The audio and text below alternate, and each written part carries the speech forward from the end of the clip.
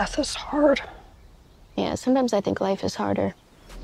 Beetlejuice Beetlejuice, starring Michael Keaton, Winona Ryder, Catherine O'Hara, and Jenna Ortega, will kick off this year's Venice International Film Festival. This will mark the world premiere for Tim Burton's hotly anticipated sequel to his 1988 comedy horror hit. When I was a teenager, a trickster demon terrorized our entire family and tried to force me to marry him. The film will premiere in Venice on August 28th, screening out of competition. The Warner Brothers release hits the big screen in North America on September 6th and internationally beginning September 4th.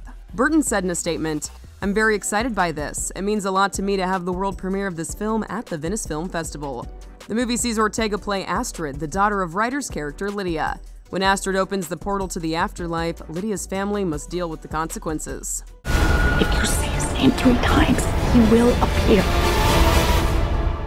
Beetlejuice.